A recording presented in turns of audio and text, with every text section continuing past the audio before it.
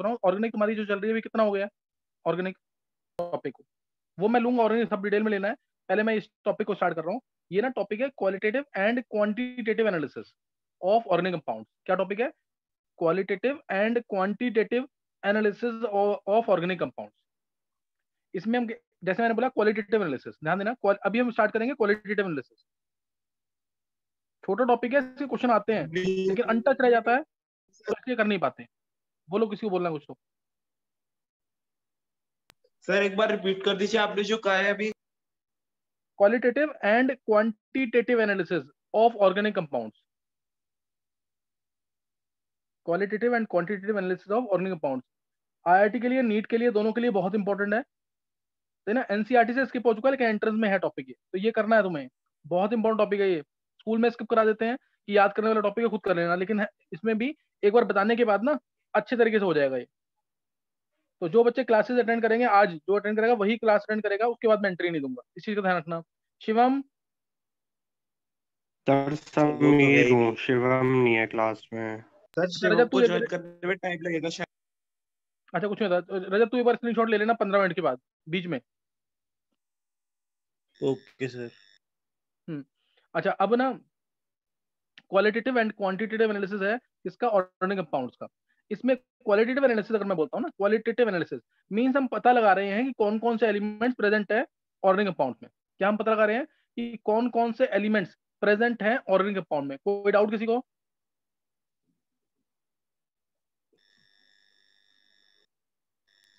करना। मतलब हम ना क्वालिटेटिव एनालिसिस मतलब होता है कि हम पता लगा रहे हैं कि उस ऑर्गेनिक कंपाउंड में कौन कौन से एलिमेंट प्रेजेंट है। देखो ऑर्गेनिक कंपाउंड है तो कार्बन हाइड्रोजन तो होगा ही उसके अंदर। ये चीज़ ज़रूर ध्यान रखना।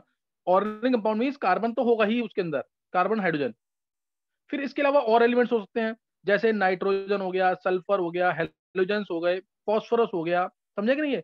ये एलिमेंट्स भी हो सकते हैं। ऑक्सीजन भी होता है ऑक्सीजन सही ना?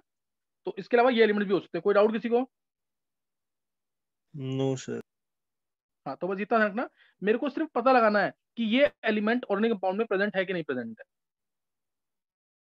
इसी को बोलते हैं क्वालिटेटिव एनालिसिस फिर इनका इनके क्वांटिटी निकालना जिसके ऊपर हम क्या करेंगे? न्यूमेरिकल्स फिर इनका क्या निकालना? क्वांटिटी जिसमें हम क्या करेंगे? न्यूमेरिकल्स वो क्या हो जाएगा? क्वांटिटेटिव एनालिसिस सही ना? वो क्या हो जाएगा? क्वांटिटेटिव एनालिसिस कोई डाउट नो सर चलो अब स्टार्ट कर रहे हैं qualitative analysis sir methods of verification इसी में आता है? हाँ वो भी इसी में वो भी कराऊँगा। ये इंपॉर्टेंट ज़्यादा है। पहले खत्म कर देंगे वो भी करा दूँगा फिर। वो टॉपिक स्किप करते हैं कि वो थ्योरी वाले टॉपिक खुद कर लेना। मैं वो करवा दूँगा वो भी। स्कूल के लिए इंपॉर्टेंट नहीं है बिल्कुल भी मैं दोबारा बोल रहा हूँ तुम्हें। एंट्रेंस के लिए इंपॉर्टेंट है स्पेशली नीट और आई आई मेंस के लिए। उनमें क्वेश्चन आते हैं इनके। तो हम स्टार्ट कर रहे हैं qualitative analysis of organic compounds उसमें हम पढ़ेंगे पहले कार्बन हाइड्रोजन का एस्टिमेशन क्लियर कार्बन का हाइड्रोजन का एस्टिमेशन कार्बन और हाइड्रोजन का एस्टिमेशन तो अब detection of carbon and hydrogen qualitative मतलब पता लगाना कि कौन सा एलिमेंट प्रेजेंट है ऑर्गेनिक कंपाउंड में। और क्वांटिटेटिव मतलब क्वांटिटी पता लगाना। इसलिए क्या हो जाएँगे उसके ऊपर न्यूमेरिकल्स आ जाएँगे।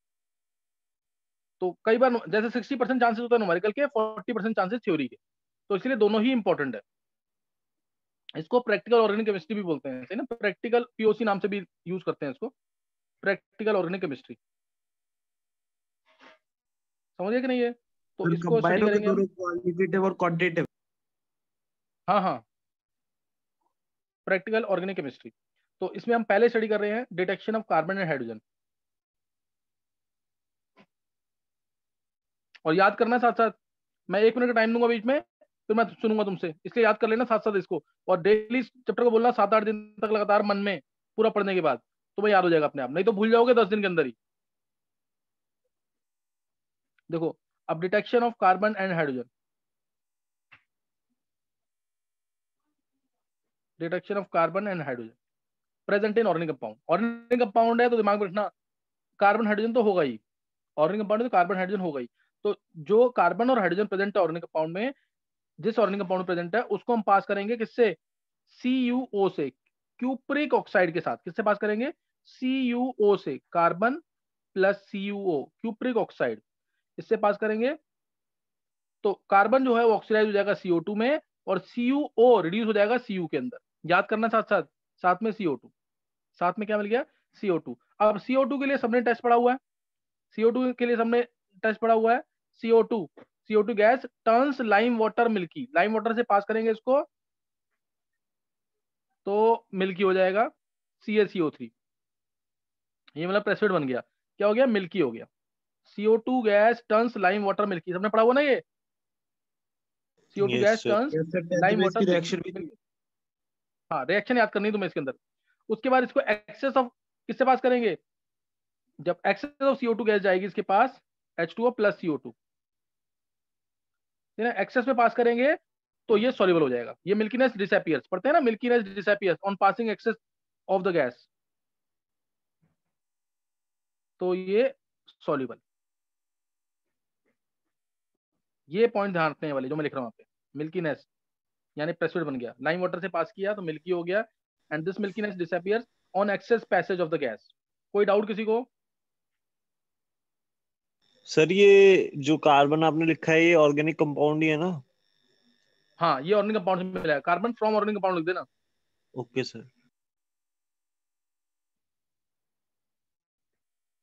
कभी भी किसी भी एलिमेंट का एस्टिमेशन करना है तो ध्यान रखना क्या होना चाहिए? वो ऑर्गेनिक कंपाउंड होना चाहिए, पहले चेक करेंगे, फिर चेक करेंगे, जो कोई भी चीज़ अगर है। सही ना? तो ये आ गया यहाँ पे। पहला मैंने बता दिया तुम्हें, दूसरा। अब हाइड्रोजन का एस्टिमेशन इसी के अंदर। इसी के अंदर हाइड्रोजन अगर हाइड्रोजन प्रेजेंट है इसी के अंदर तो two H plus cupric oxide cupric oxide ऊपर पास किया था क्यूप्रिक ऑक्साइड नीचे। एच कहाँ से आया? From organic compound two H from organic compound CuO cupric oxide से पास किया तो बन गया Cu plus H two Cu plus H two ठीक है ना? C U plus H two अब पानी का पता लगाना है तो बहुत सबसे आसान तरीका। सबको पता है कॉपर सल्फेट के ऊपर जैसे ही ड्रॉप वाइज पानी गिरता है तो कॉपर सल्फेट जो व्हाइट कलर का होता है वो कौन से कलर का हो जाता है? बोलो। कॉपर सल्फेट ब्लू ब्लू बहुत अच्छे। C U H O four dot five S two blue colour ये याद रखना तुम्हें। सर ये एडाइड्रस है ना? हाँ ये ये एनहाइड्रस है। जो CuSO4 लिखा मैंने ये एनहाइड्रस सॉल्ट थी। जैसे इसको पे ड्रॉप वाइज पानी गिरेगा तो ये ब्लू कलर की हो जाएगी। तब ये ब्लू कलर होती है। अदरवाइज़ ये व्हाइट कलर की सॉल्ट होती है। समझिए कि नहीं है? और इसका भी डिटेल में रीजन है ट्वेल्थ क्लास में कि एच टू लिगेंड्स आने से डी ऑर्बिटल डिजनरेट नहीं रहते हैं तो स्प्लिट अप हो जाते हैं T2G और EG लेवल में। फिर जब ट्रांजिशन होता है इलेक्ट्रॉन्स का T2G से EG लेवल में तब जाके कलर आता है। तो वो सब तुम्हें अभी नहीं करना है। वो सब बाद में करेंगे। समझ गए नहीं है यस सर समझ गए। हाँ तो ये अच्छा गया। अब यहाँ पे ध्यान रखना तीसरा केस हमेशा ना मैं आगे जितना भी पढ़ाऊँगा सब में प्रॉब्लम कौन क्रिएट करेगा? अगर सल्फ़र भी प्रेजेंट है। अगर सल्फ़र प्रेजेंट है तो वो टेस्ट में प्रॉब्लम क्रिएट करेगा। सल्फ़र का तुम्हें पता होगा। S plus C U S plus C U सही ना? एस प्लस सी यू क्या मिलेगा इसमें? SO two gas plus CO two plus इस केस में कॉपर प्लस टू से प्लस वन में जाता है कॉपर में ज़ीरो में नहीं जाता। तो एसओ टू गैस आ गई। Now this gas also turns lime water milky पता है ना ये? यस सर ये गैस भी लाइम वाटर को मिल्की कर देती है। तो ये आ गया C S O three milky. Again this milkiness disappears this milkiness disappears on excess passage of the gas जब एक्सेस में SO2 गैस पास करते हैं तो ये मिल्कीनेस खत्म हो जाएगी और ये soluble CaHSO3 whole twice soluble ये सॉल्युबल हो जाएगा। And this milkiness will disappear कोई डाउट तो नहीं आता किसी को? किसी को कोई डाउट तो नहीं है? हाँ। सर मेरा एक डाउट था। हाँ बोलो बोलो। सर कॉपर और जैसे कि हमें किसी ने इक्वेशन दे दी है और हमसे पूछा कि बताओ कि किस एलिमेंट से रिएक्ट करके ये मिल्कीनेस आई थी तो हम क्या कहेंगे? कॉपर या मतलब कार्बन और सल्फ़र में से कौन सा कंपाउंड था? इसमें कंफ्यूजन हो तो- सकती है सर। ये कौन पूछ रहा है? कौन पूछ रहा है? सर अभिषेक। अभिषेक मैंने अभी पढ़ा अभी आगे नहीं कराया ना? मैं कराऊँगा आगे तब बोलेगा ना पूरा टॉपिक होने के बाद। Okay sir. हाँ अभी मैं टॉपिक कराऊँगा ना वो तो बहुत सारे तरीके हैं। CO two non combustible SO two combustible gas बहुत सारे तरीके हैं वो रहने दे उस चीज़ को। तो अब तुम्हें जो मैंने बताया इतना सब- इतना समझ आ गया कि नहीं? हाँ रजत बोल। सर सर ये पूछ रहा था जैसे सीए की इसमें प्लस टू स्टेट होगी और एच प्लस वन। में होगा। और एसओ थ्री हाँ। सर टू माइनस में होगा तो सर ये तो बैलेंस ही नहीं हो रहा। इस पे अगर हम देखें। कि नहीं कौन सी क्वेश्चन बैलेंस नहीं हो रही? नहीं नहीं सर वो बैलेंस नहीं सर चार्ज देख रहा था मैं जैसे ऑक्सीडेशन स्टेट नहीं होते। अरे वो तो मैंने सारे कंपाउंड लिखे नहीं ना मैंने तो मेन कंपाउंड लिखे यहाँ पे। ये नहीं सर ये जैसे कंपाउंड है ये इस पे अगर ये न्यूट्रल है तो सर इसका जो मैंने गलत लिख दी एक चीज़ ये कह रहा था ना C H S O three volt वाइज है अब वो तो कर ले रहा जब मेरे से गलती हो गई वहाँ पे। चलो समझ आ गया यहाँ तक कि नहीं? यस सर यहाँ तक समझ आ गया? हाँ तो ये अभी तुम एक एक मिनट लगा के इसको याद करोगे जल्दी से फिर आगे कराऊँगा। नहीं तो ये सारी क्वेश्चन ज़्यादा हो जाएँगी। तो एक मिनट लगा के इसको याद कर लो मैं नेक्स्ट पेज पे लट रहा हूँ बस।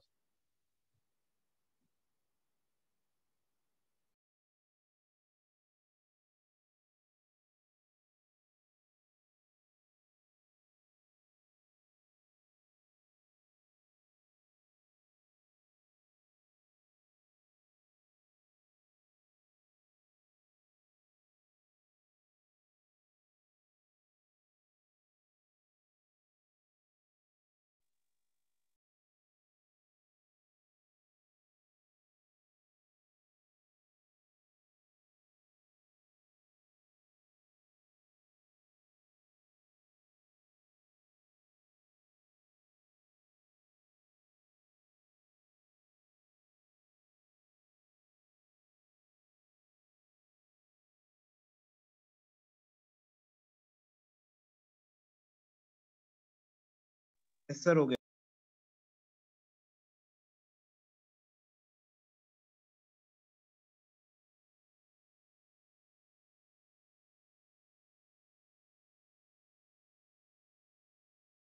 हाँ किसने कर लिया है? किसने कर लिया है अभिषेक।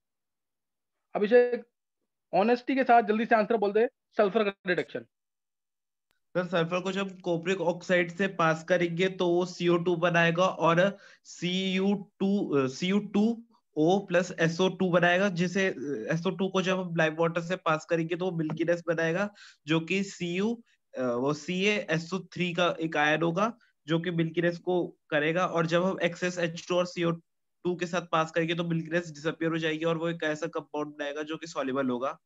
सर वो कंपाउंड है CH ओ टू का होल ट्वाइस बिल्कुल सही है। अब से ना अगर मैं सुनने को कहता हूँ ना तो एक मिनट के लिए अपना वीडियो ऑन करके फिर सुना देना। समझ गए कि नहीं? जी सर हम्म अच्छा और किसी को याद नहीं हुआ है? रजत? हो गया सर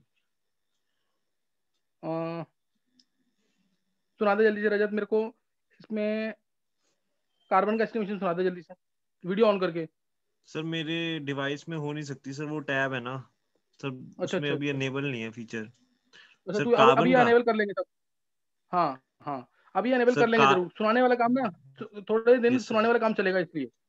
हाँ बोल रहे sir carbon sir cupric oxide के साथ सर वो रिएक्ट करके कॉपर और CO2 देगा और CO2 को हम टेस्ट कर लेंगे। उसमें मतलब लाइम वाटर हम्म। डाल देंगे तो वो CaCO3 दे देगा।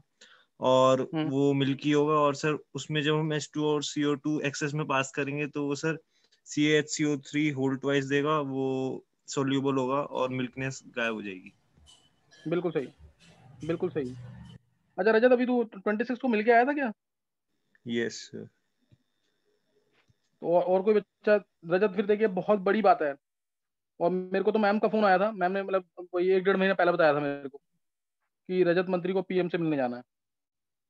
तेरा पूरे पूरे स्टेट में तेरा ये स्टेट में है फ़र्स्ट रैंक टेंथ में कि पूरे yes, स्टेट में। पूरे सर, अच्छा पूरे स्टेट बोर्ड में। तो हाँ. सर शायद सेकंड है और सर स्टेट में वो फ़र्स्ट है। अच्छा पूरे हरियाणा स्टेट में फ़र्स्ट है। ओवरऑल पूरे सीबीएसई बोर्ड में सेकंड है। यस सर चलो सही रजत ऐसे ही मेंटेन रजत तू ना मैं दोबारा बोल रहा हूँ तू मेंटेन कर, कर सकता है पूरा ढंग से लेकिन तू ना अभी राइट पाथ पे नहीं है। उसके लिए ना क्योंकि काम बहुत सारा करना अभी तेरे को। समझ गया कि नहीं? यस yes, काम बहुत सारा है अभी। चलो कुछ नहीं होता। अच्छा आ, ये ये मैंने बता दिया कार्बन का और हाइड्रोजन का एस्टिमेशन और अगर सल्फ़र आता है अगर वो प्रॉब्लम क्रिएट करता है तो वो एस, वो भी मिल्कीनेस देगा और मिल्कीनेस डिसअपियर भी होगी। सेम चीज़ होगी जो CO2 के साथ हुआ था। तो इसलिए अब हमें CO2 और SO2 को डिफ्रेंशिएट करना है क्लियर अब हमें CO2 और SO2 को डिफ्रेंशिएट करना है। इसके भी तरीके मैं तुम्हें बता चुका हूँ ये कौन बताएगा क्लास में? सीओ टू और एसओ टू को डिफ्रेंशिएट करने के तरीके। सब बोल सकते हैं सब सबने रिडॉक्स पढ़ा हुआ है। सर कार्बन की ये मैक्स स्टेट है। हाँ बहुत अच्छे और सर सल्फ़र की आ, मैक्स नहीं है तो सर वो सिर्फ़ मतलब अ, कम वाली स्टेट में जाएगा। हाँ। तो सर हम उसको मतलब सर ऑक्सीडाइजिंग एजेंट सर एक सेकंड सर वो देखना पड़ेगा। ऑक्सीडाइजिंग से करेंगे कि रिड्यूसिंग से करेंगे? तो ये आंसर मैंने बोला था ना कि K2CR27 और K4 की रिएक्शंस डेली लिखनी है तुम्हें। अगर डेली लिख रहा होता ना तो तू इमीडिएटली देखते ही आंसर देता। यही चीज़ तो चाहिए मेरे को। दोनों को अगर हम रजत तेरा सही आंसर वैसे। देखो दोनों को अगर हम जैसे डाइक्रोमेट आयंस के पेपर से पास करते हैं। और भी तरीके हैं मैं एक दो तरीके बता रहा हूँ अभी। तो इसमें नो रिएक्शन मतलब ऑरेंज कलर का जो पेपर है, वो ऑरेंज कलर का ही रहेगा। सही ना? ऑरेंज कलर का जो पेपर है, वो ऑरेंज कलर का ही रहेगा। लेकिन अगर मैं इसको पास करता हूँ, अगर मैं इसको पास करता हूँ डाइक्रोमेट पेपर से इस SO2 गैस को तो ये SO2 गैस जो है, इस डाइक्रोमेट आयंस जो कि ऑरेंज कलर के थे, इसको कर देगा ये green colour C R three plus green समझे कि नहीं? या फिर मैं SO2 गैस को और CO2 गैस को दोनों को पास करता हूँ परमैंगनेट की सॉल्यूशन से, जो कि पर्पल कलर की होती है।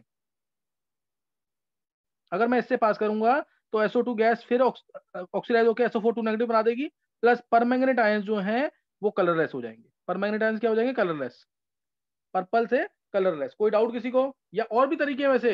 लेकिन अभी मैंने जितना बताया, उतना ही करना जैसे Fe3 प्लस आयन से पास करेंगे तो ये Fe2 प्लस बन जाएगा। ब्राउन कलर के होते हैं Fe3 प्लस आयन और अब ये Fe2 प्लस हो जाएँगे ग्रीन कलर के।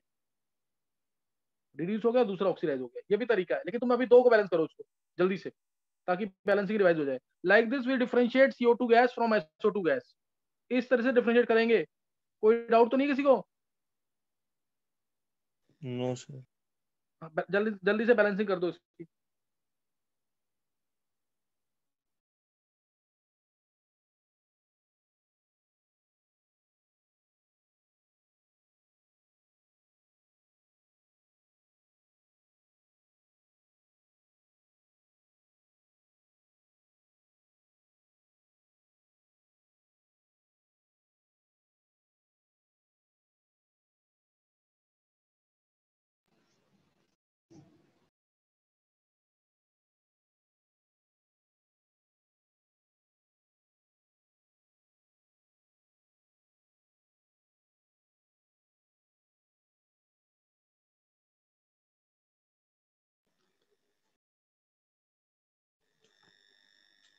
सर वो हमें जो वैसे आयंस लगाने होते हैं अलग से वो भी लगाने ऐसे ही कर दें बैलेंस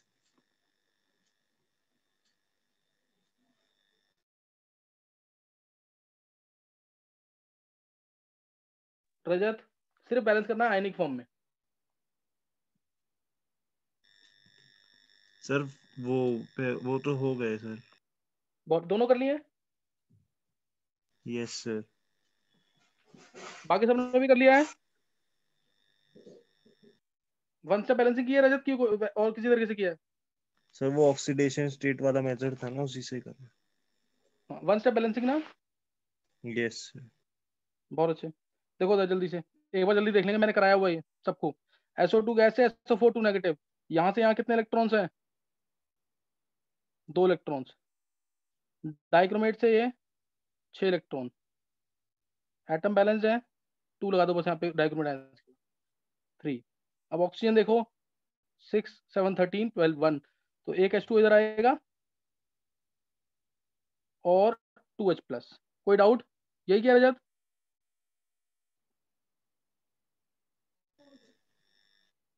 यस सर हाँ ये कराया हुआ पहले बैलेंसिंग हार्डली टेन सेकंड में हो जाती है पूरी। ऐसी दूसरी भी खुद करना बैलेंसिंग तो इस तरह से हम SO2 गैस को डिफरेंशिएट कर सकते हैं CO2 गैस से। इस तरीके से हम SO2 गैस को CO2 गैस से डिफरेंशिएट कर सकते हैं। यहाँ पे हमने कार्बन और हाइड्रोजन का एस्टिमेशन कर दिया है जिसमें सल्फ़र ने अगर प्रॉब्लम क्रिएट की थी उसको भी दूर कर दिया था। तो अब किसी को डाउट यहाँ तक कोई? किसी बच्चे को डाउट यहाँ पे? चलो। सर नेक्स्ट हाँ नेक्स्ट अब करेंगे। यहाँ से स्टार्ट कर रहे हैं अब। दो कार्बन हाइड्रोजन का पता लग गया हमें। अब हम स्टार्ट कर रहे हैं यहाँ से detection of nitrogen detection of nitrogen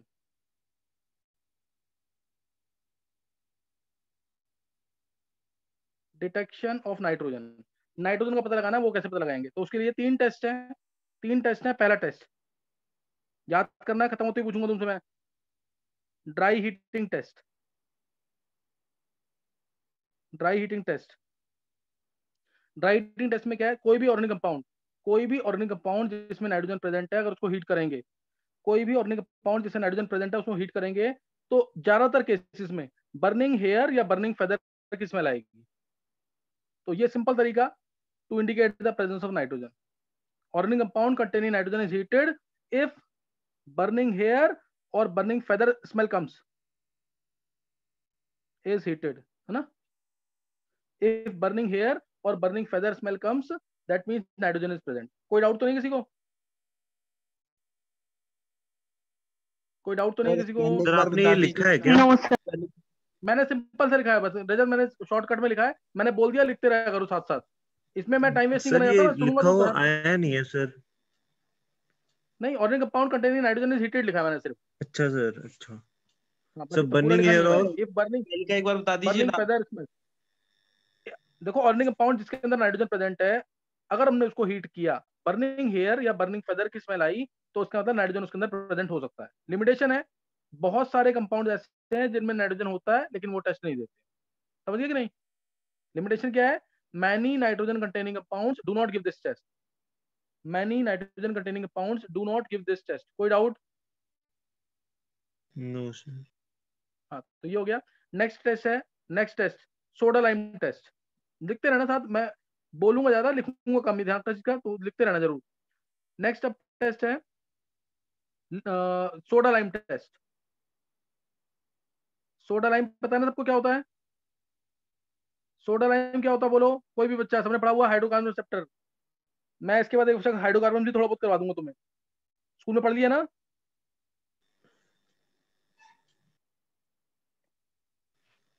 बोलो जल्दी। नहीं पता सोडा लाइम चलो, सोडा लाइम होता है three two one ratio of NaOH और CaO ये सबने पढ़ा होगा डी कार्बोक्सिलेशन रिएक्शन होती है, उसके अंदर पढ़ा होगा सबने three is two one molar ratio of NaOH and CaO three is two one molar ratio of NaOH and CaO is called as soda lime और CaO का फ़ंक्शन एक, दो तीन फ़ंक्शन है इसके, एक मेजर फ़ंक्शन मैं बता रहा हूँ यहाँ पे। To keep NaOH dry NaOH जो है, वो हाइग्रोस्कोपिक होता है मॉइस्चर को एब्जॉर्ब करता है तो उसको ड्राई रखना इसका काम होता है सीएओ का काम। टू कीप NaOH ड्राई हालाँकि ये बेस का भी काम करता है CO2 गैस को एब्जॉर्ब भी करता है रिएक्शन के अंदर, ताकि रिएक्शन फॉरवर्ड डायरेक्शन में जाए। तो ये सोडा लाइम है। NaOH और CaO का रेशियो थ्री टू वन में। CaO का function to keep NaOH dry to absorb CO2 to ensure completion of the reaction तो ये सोडा लाइम होता है। अब जो कोई भी कंपाउंड जिसके अंदर नाइट्रोजन प्रेजेंट है, कोई भी कंपाउंड जिसके अंदर नाइट्रोजन प्रेजेंट है, अगर हम उसको ट्रीट करते हैं सोडा लाइम के साथ, जैसे मैंने ले लिया यूरिया NH2CONH2 इसको ट्रीट किया NaOH प्लस CaO के साथ। सोडा लाइम के साथ।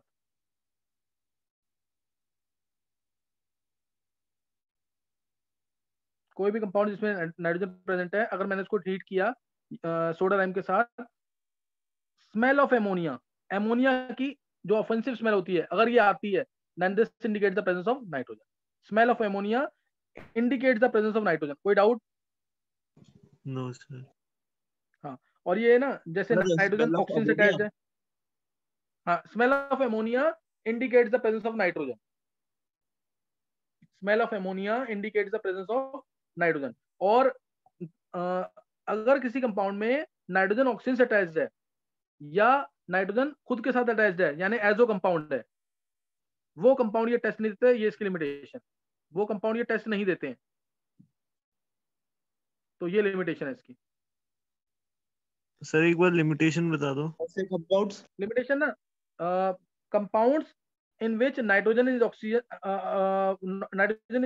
uh, attached to more electronegative atom that is oxygen यानी NO2 एग्जांपल लिख दिया मैंने सीधा।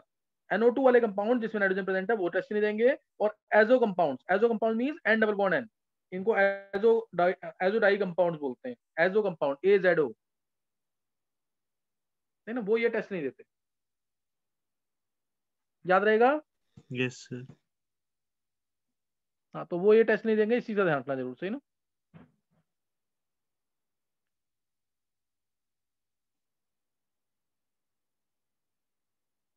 एक्चुअल में ना एजो कंपाउंड होते हैं ना अनस्टेबल होते हैं उसको हल्का सा भी हीट करते हैं तो नाइट्रोजन पहले ही गायब हो जाती है उसमें। जैसे मैं अगर बात करूँ ना कोई भी कंपाउंड ले लो तुम C two H five N two plus है। ये है स्ट्रक्चर इसका। तो इसको तुम ये, इसके साथ ना एन टिक नहीं सकता। क्यों? क्योंकि एन टू गैस इतनी ज़्यादा स्टेबल होती है ना, ये एजो कंपाउंड है। ये इमीडिएटली बाहर निकल जाएगी।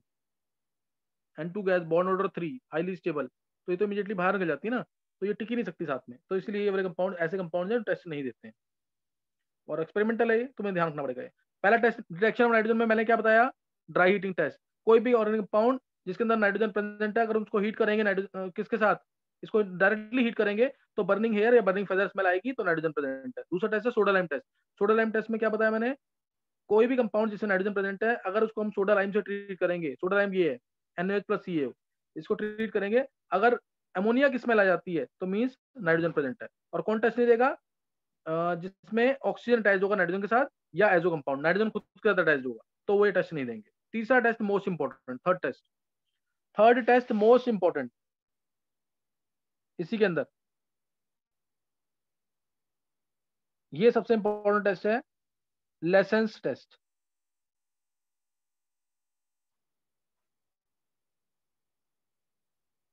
ये सबसे ज़्यादा इंपॉर्टेंट है। सही ना लेसेंस टेस्ट ये पहले तो लाइन याद रखनी है नाइट्रोजन सल्फ़र और हेलोजन के लिए।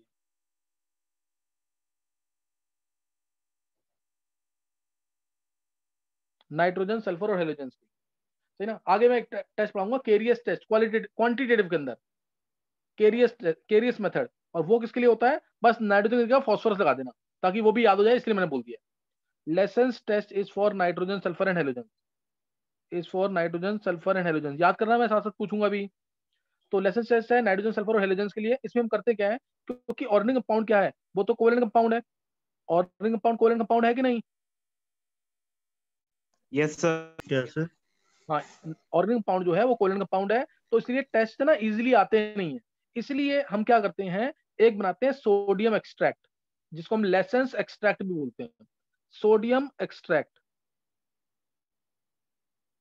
जिसको हम क्या बोलते हैं लेसेंस एक्सट्रैक्ट भी बोलते हैं। इसमें हम करते क्या है कि जो जो कोलेंट फॉर्म में एलिमेंट प्रेजेंट है कंपाउंड के अंदर, उसको हम कन्वर्ट करते हैं किसमें आयनिक फॉर्म में by heating with sodium sodium के साथ हीट करके हम जो कोलेंट फॉर्म में, यानी स्ट्रॉन्ग बॉन्ड के साथ एलिमेंट प्रेजेंट थे, उसको हम कन्वर्ट करते हैं किसमें? आयनिक फॉर्म में, ताकि टेस्ट आसानी से हो सके। जैसे सल्फ़र प्रेजेंट है ऑर्गेनिक कंपाउंड में तो सल्फ़र को मैं ट्रीट करूँगा सोडियम के साथ हीट करूँगा तो क्या मिल जाएगा? Na2S समझे कि नहीं? है ऐसे ही, अगर हेलोजन प्रेजेंट है तो मैं उसको हीट करूँगा सोडियम के साथ तो बन जाएगा, ये एस कहाँ से है? फ्रॉम ऑर्गेनिक कंपाउंड एक्स कहाँ से है? From organic compound. तो क्या बन जाएगा ये N X N X nitrogen present है अगर तो उसके साथ सी भी आता है N A plus C plus N वो कन्वर्ट किसमें हो जाएगा? आयनिक फॉर्म में। समझे कि नहीं ये? नहीं समझ आया ये? आ गया सर ऑर्गेनिक कंपाउंड में जो भी प्रेजेंट होगा इनमें से तो वो लेसेंस टेस्ट देगा। हाँ वो टेस्ट देगा। मैंने क्या बोला? लेसेंस ये लेसेंस टेस्ट क्या है? इसके अंदर हम इसको अप्लाई करने से पहले हम ऑर्गेनिक कंपाउंड में जो एलिमेंट प्रेजेंट है दैट इज़ नाइट्रोजन सल्फ़र और हेलोजन इनको हम सोडियम के साथ हीट करते हैं ताकि वो कोवेलेंट फॉर्म से आयनिक फॉर्म में कन्वर्ट हो जाए। ताकि वो कोवेलेंट फॉर्म से किस फॉर्म में कन्वर्ट हो जाए? आयनिक फॉर्म सही ना? आयनिक फॉर्म में कन्वर्ट हो जाए ताकि टेस्ट आसानी से हो सके। और इसको हम सोडियम एक्सट्रैक्ट तो कहते सोडियम फ्यूजन एक्सट्रैक्ट पूरा नाम याद लेंगे। Sodium fusion extract sodium fusion extract या लेशन एक्सट्रैक्ट भी कहते हैं। सोडियम के साथ हीट करते हैं मॉर्निंग कंपाउंड को, ताकि वो जो एलिमेंट्स कोवेलेंट फॉर्म में थे, वो किस फॉर्म में कन्वर्ट जाए? आयनिक फॉर्म में। तो मैंने भी तुम्हें बोला नाइट्रोजन के टेस्ट तो नाइट्रोजन टेस्ट करेंगे तो एनएसीएन बने तो अब मैं यहाँ पे हमने अभी नाइट्रोजन के लिए दो टेस्ट पढ़ लिए हैं ड्राई हीटिंग टेस्ट और दूसरा सोडा लाइम टेस्ट तीसरा टेस्ट कौन सा है? Lassaigne's test clear Lassaigne's test तो लेसेंस टेस्ट में क्या होगा? वो देख, अब रिएक्शन लिखनी है इसकी। पहले नाइट्रोजन जो है, वो कन्वर्ट हो गया हमारा आयनिक फॉर्म में एनएसीएन के फॉर्म में। अब इस एनएसीएन को ट्रीट करते हैं फेरस सल्फेट के साथ। फेरस सल्फेट से ट्रीट करते हैं इसको। सही ना? फेरस सल्फेट से ट्रीट करेंगे तो मिलेगा सोडियम फेरोसाइनाइड सोडियम फेरोसाइनाइड और ये चीज़ ध्यान रखना, जो फेरस सल्फेट है ना, ये पूरा टेस्ट यहाँ से चल रहा है इसका। जो test Lassaigne's test for nitrogen यहाँ से चल रहा है, जहाँ मैंने बड़ा ब्रैकेट लगाया। तो NaCN बन गया। NaCN को FeSO4 से ट्रीट किया। This should be freshly prepared पहली लाइन इंपॉर्टेंट है यहाँ पे। वैसे ही पूछ लिया अगर मैंने, क्यों फ्रेशली प्रिपेयर्ड होना चाहिए? क्यों होना चाहिए फ्रेशली प्रिपेयर्ड तो मिलेगा Na4 FeCN6 जैसे K4 FeCN6 होता है ऐसे Na4 FeCN6 हो जाएगा। अगर फ्रेशली प्रिपेयर्ड नहीं होगा ना तो एयर इसको ऑक्सीडाइज करके क्या बना देगी? Fe2SO4 होल थ्राइस सही ना? Fe2SO4 होल थ्राइस इसीलिए it should be freshly prepared कोई डाउट किसी को? सर Fe2SO4 होल थ्राइस होगा तो इसमें प्रॉब्लम क्या है? वो टेस्ट कैसे देगा? किसको ऑक्सीडाइज करेगा ये? अच्छा हाँ सर ठीक है। आयरन की स्टेट और आयरन की स्टेट है ना, वो चेंज हो जाएगी इसमें। यहाँ पे भी आयरन की स्टेट प्लस टू है ना। तो ये बन गया सोडियम फेरोसाइनाइड सोडियम फेरोसाइनाइड अब इस सोडियम फेरोसाइनाइड के अंदर, इस सोडियम फेरोसाइनाइड जो बन गया है, अब इसमें इसके अंदर डालेंगे FeCl3 FeCl3 clear F E C L three ये आता है F E C L three डालेंगे तो यहाँ से मिलेगा, बहुत इंपॉर्टेंट शायद मैंने तुम्हें पहले भी बताया हो प्रशियन ब्लू क्रॉस करना है सिर्फ़ तुम्हें। सिर्फ़ तुम्हें यहाँ पे क्रॉस करना है। यहाँ पे आयरन की स्टेट प्लस थ्री है। यहाँ पे आयरन की स्टेट क्या है? प्लस टू ये पूरा क्या है? F E C N six four minus तो क्रॉस करेंगे तो क्या आएगा? एफ़ ई फोर प्लस वाला F E C N six नहीं समझ आया? इसे बोलते हैं। ये कह लो इसे। या एन ए तीन एन ए हट गए। एक एफ़ ई आ गया प्लस थ्री वाला। तीन एन ए हट गए और एक एफ़ ई आ गया प्लस थ्री वाला। एन ए फिर F E F E C N six नहीं समझ आया? ये भी इसको बोल सकते हैं। एक एफ़ ई प्लस थ्री वाला है दिस और दोनों कंपाउंड में से कोई भी बना सकते हैं ये? कोई भी बना सकते हो उसमें। ये ज़्यादा यूज़ होता है। कम से कम पिछले चालीस साल के अंदर आईआईटी में पाँच से छह बार आया हुआ है कंपाउंड इसको बोलते हैं प्रशियन ब्लू इसको बोलते हैं प्रशियन ब्लू और आयरन टू प्लस का रिडक्शन करते हैं ना ये आयरन थ्री प्लस का रिडक्शन हो गया यहाँ पे। आयरन थ्री प्लस है ना ये? नाइट्रोजन का तो हुआ ही है। साथ में आयरन थ्री प्लस का भी रिडक्शन हो गया। अगर आयरन प्लस टू में होता ना, तब आता है टर्नबुल्स ब्लू वो होता है F E three F E C N six whole twice वो क्या होता है? F E three F E C N six whole twice वो अभी तुम्हें नहीं करना। है ना? वो तुम्हें अभी नहीं करना। है तो यहाँ तक समझ आ गया कि नहीं? यस सर कोई डाउट यहाँ पे किसी को? याद करना है तुम्हें साथ साथ अब यहाँ पे प्रॉब्लम कौन क्रिएट करेगा? यहाँ पर अगेन प्रॉब्लम कौन क्रिएट करेगा? अभी पीछे बताया था मैंने। कार्बन हाइड्रोजन में किसने प्रॉब्लम क्रिएट की थी? सल्फ़र ने ना? हाँ तो ऐसे ही सल्फ़र भी यहाँ पे प्रॉब्लम क्रिएट करता है। एन ए मान लो सल्फ़र भी आ जाता है तो N A plus S plus C plus N क्या बन जाएगा? N S C N N S C N बन गया? अब ये एन एन भी एफ़ सी एल थ्री से रिएक्ट करता है।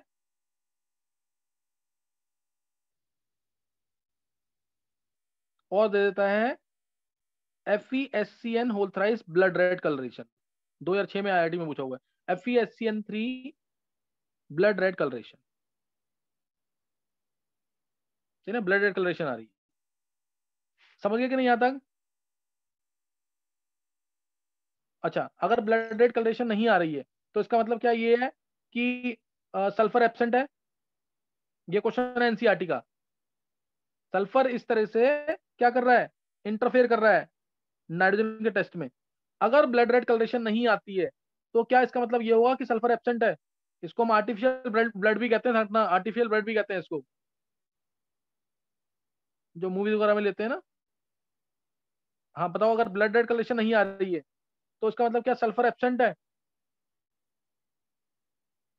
अगर ब्लड रेड कलेक्शन नहीं आ रही है that does not mean that sulphur is absent उसका मतलब ये हमेशा नहीं होगा कि सल्फ़र एब्सेंट है। वो हो सकता है एक्सेस सोडियम से रिएक्ट कर जाए, वो हो सकता है एक्सेस सोडियम से रिएक्ट कर जाए, और क्या बना दे? Na2S plus NaCN Na2S plus NaCN तो ये रिएक्शन दिखानी है इंपॉर्टेंट क्वेश्चन एनसीआरटी का। If blood red coloration does not appear, then does that mean that sulfur is absent? No sulfur may be present because NaCN may react with excess of sodium with excess of sodium to form Na2S and NaCN तब ना आए blood red colouration समझ गया कि नहीं यहाँ तक? यहाँ तक समझ आ गया कि नहीं? Yes sir yes sir yes तो सर जल्दी से हाँ जल्दी से इसको याद करें मैं सुन रहा हूँ एक बार। एक मिनट के अंदर याद करना पूरा नाइट्रोजन का टेस्ट। जल्दी से याद करना है। जैसे बोला कि ब्लड रेड कलेक्शन कौन देगा? ये ऑब्जेक्टिव भी सॉल्व करना है। यूरिया और इसके अलावा ले लेते हैं हम N H four S C N which organic compound will give blood red coloration NaSCN या para amino benzene sulphonic acid sir, ये सारे तीन टेस्ट दिख गए। तुम्हें बताना है, इनमें से कौन सा ब्लड रेड कलेक्शन देगा? और जल्दी से याद करेंगे। Which organic compound will give blood red collection जल्दी से याद करेंगे।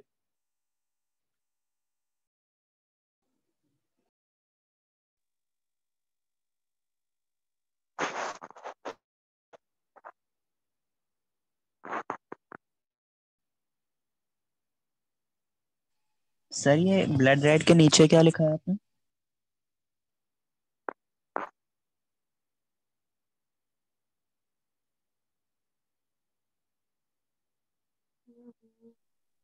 उसके नीचे लिखा आर्टिफिशियल आर्टिफिशियल ब्लड